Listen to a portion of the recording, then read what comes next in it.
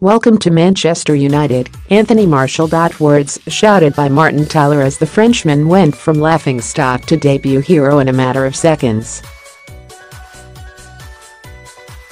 A repeat of that on Saturday would cost Manchester United big. I in the summer of 2015 it was obvious that Manchester United wanted to sign a striker, but one never arrived at Louis van Gaal's side and then, as if out of nowhere, they bid for relative unknown forward Anthony Martial.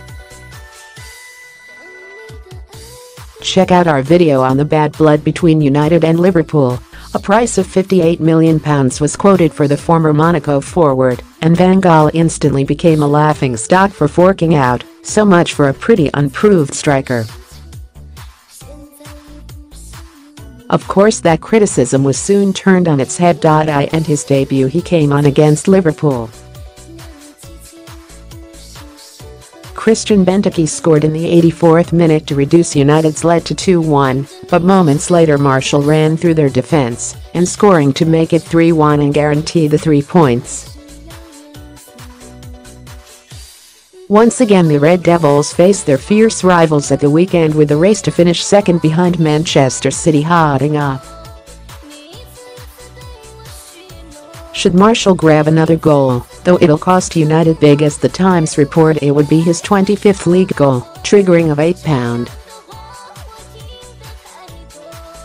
9 million payment to Monaco. The £58 million transfer fee first quoted wasn't completely the truth with United only paying the League One side £36 million to start with the rest of it being due should he reach certain milestones. After scoring 24 goals in the Premier League. Since arriving in Manchester the 22-year-old is just one short of triggering one of the bonus payments, although the one, if he wins the Ballon d'Or seems a hell of a long way off.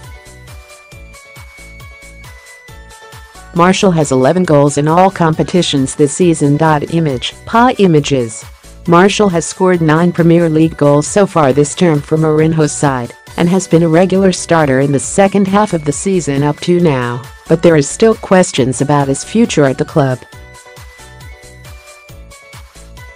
His contract runs out at the end of next season and talks haven't begun yet, and there were reports in France the forward wasn't feeling that appreciated especially with the signing of Alexis Sanchez.